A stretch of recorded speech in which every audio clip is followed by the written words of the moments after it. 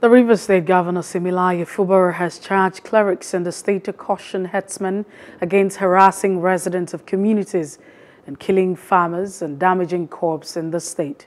Fubara gave the charge when he received the leadership of the Muslim community who paid a visit in the spirit of the Muslim festival of Eid al-Adha. The report. The governor said his administration cannot be protecting their businesses while some errant members of their fold are destroying the businesses and livelihoods of others. He warned that if the attacks persist, the government will be compelled to wield the full force of the law against the perpetrators. Praising Allah for the things He has done, and I believe that He will do more for you people. I want to thank you again for coming to also thank us for what we have done.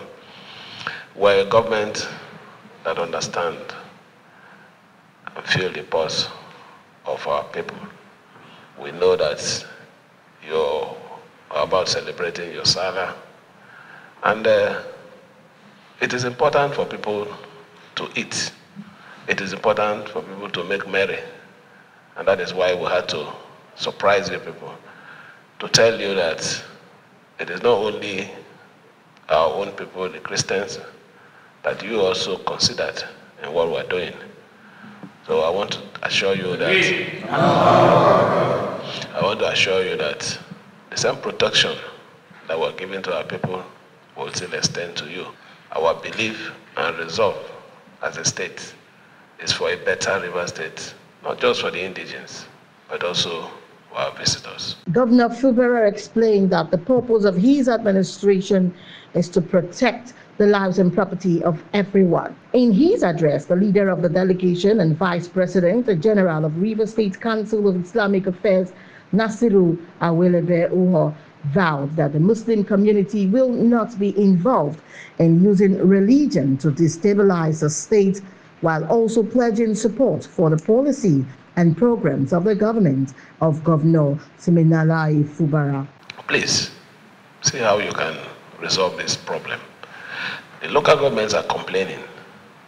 We don't want to take laws into our hands because we feel that uh, if we have to use all the necessary force, it might escalate and lead to uh, unrestiveness in most of those areas where you do your business.